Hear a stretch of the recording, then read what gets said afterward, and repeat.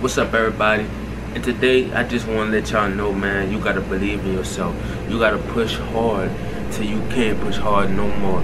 Yo, you gotta tell yourself that you can do more things than what you think that you can do.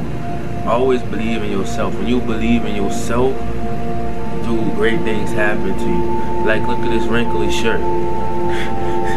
I believed that I was gonna put this on and uh, put it on. But um, that's just a little joke. All I'm saying is, don't let nobody stop you from being who you are because you are you. You get what I mean? You know. Whenever you stressed out, go outside, take a walk, drive in your truck. You bike life, ride your four wheeler.